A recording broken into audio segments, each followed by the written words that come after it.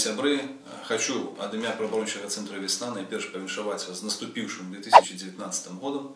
ну заодно і падвесці вынікі года, які ўжо прайшоў 2018. Ну, трэба значыць, што 2018 год быў вельмі супярэчлівым годам. Нягледзячы на зніжэнне агульнага ўзроўню рэпрэсій у краіне, тым не менш мы не адзначаем нейкіх сістэмных зменаў, скіраваных на палепшэнне сітуацыі з правамі чалавека ў Беларусі. Найперш на заканадаўчым узроўні. Па-другое, трэба адзначыць, што палітычная сітуацыя ў краіне, нягледзячы на тое, што не адбывалася нейкіх значных палітычных падзеяў, тым не менш прыводзіла да пераследу крымінальна палітычна матываванага ў краіне. Такіх выпадкаў мы адзначаем 18. Большасць з іх гэта фігуранты так званай справы Белта, якая была ўзбуджана дачыненне да журналістаў, рэдактароў шэрагу вядучых незалежных сродкаў масы інфармацыі, а таксама крымінальная справа дачынення да актывістаў незалежнага прафсаюза рэп спадара Геннадзі Федыніча і Ігора Кумліка. Ну, а таксама справу дачынення да памерлага спадара Алесі Ліпая, дырэктара інфармацыйнага агентства Белапан. А які ДРР?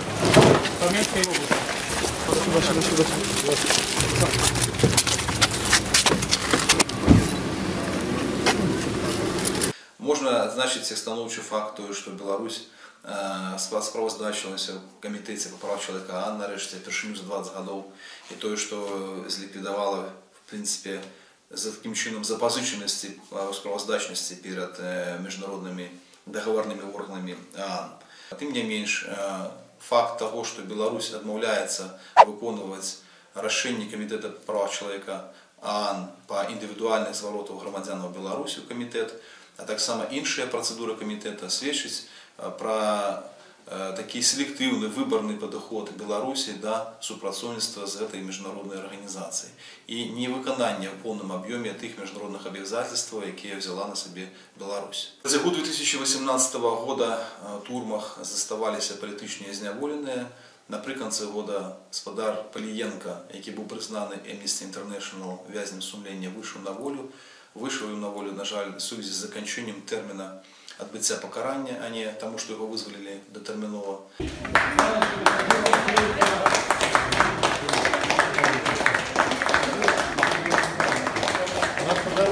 А спадар жемчужнай застаўся адбываць пакаранне ў турмах і на працягу года ён сутыкаўся з шматлікімі з фактамі ціску на яго з боку адміністрацыі папраўчых калоній. Не адбылося і сур'ёзных зменаў у сітуацыі з свабодай з асабістай недатыкальнасцю грамадзянаў з свабодай ад катаванняў праварочы цэнтра вясна сутыкаўся з такімі праявамі фіксаваў іх і намагаўся узбудзіць адпаведныя справы дачынення да тых службовых асобаў якія былі датычныя да гэтых выпадкаў на працягу года было зафіксавана праварочным цэнтрам вясна 184 выпадкі прыцягнення да адміністратыўнай адказнасці за ўдзел у несанкцынаваных сходах дачынення да 144 чалавек з іх арышты прызначаліся 21 раз штрафы былі вынесены ў 163 выпадках на агульную суму 4363 базовых велічынь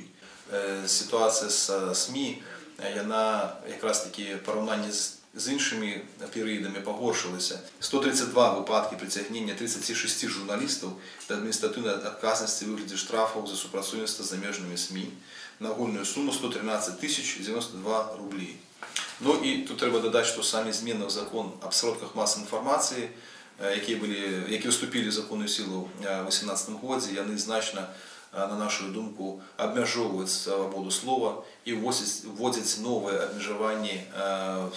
для сродка мас інфармацыі найперш в інтэрнэт-сферы сам факт такіх рэпрэсій сведчыць тое што улады не адмовіліся ад такой практыкі і працягвалі ажыццяўляць даволі жорсткі кантроль над грамадствам таксама назіралася скрайне супярэчлівая сітуацыя датычная праблемы смяротнага пакарання з аднаго боку на працягу года Беларусь працягвала актыўны дыялог па праблематыцы смяротнага пакарання з ЕС з парламенцкай асамблеем рады Еўропы але з іншага боку прымяняла працягвала прымяняць на практыцы гэты від пакарання 2018 годзе было вынесена два новых смяротных прысуды а чотири міжнародних присуди ранее вынесенных, э, яны были приведены в выкананне.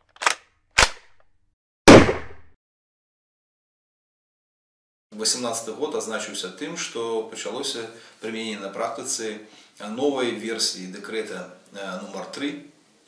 з унесенымі ў яго зменамі і дапаўненнямі э, на практыцы. Тут трэба сказаць, што нягледзячы на тое, што ўлады значна перагледзелі канцэпцыю гэтага так скажем, дэкрэта сутнасная ідэя галоўная э, дэкрэта она засталася заставить работать тех кто должен и кто может то есть людей стымулююць так скажем для занятасці не праз э, Павышэнне заробкаў ці нейкіх сацыяльных льготаў сацыяльнага э, ладу паляпшэнне сацыяльных гарантый а праз нейкія негатыўныя наступствы для такіх людзей. І на працягу года мы былі сведкамі шматлікіх выпадкаў прыцягнення практыкі прымусовай працы ў краіне, якая ўжо стала для нас просто звыклай з'явай. Шматлікія суботнікі, на якія выганялі людзей фактычна ледзь не некалькі выхадных у запар, то рэспубліканскія, то мясцовыя, то яшчэ якія выпадкі, на якія ўжо неаднаразова звяртала ўвагу міжнароднай арганізацыі і, і МОД, и комитет ААН по социальных, экономических и культурных правах, и комитет ААН по правах человека. Но тем не меньше, эта практика протягивается из года в год и не стала на выключением и в 2018 году. Фиксовались выпадки оказания тиску на правооборонцев в связи с ажыццяўленнем імі праваабарончай дзейнасцю, а таксама на блогераў, якія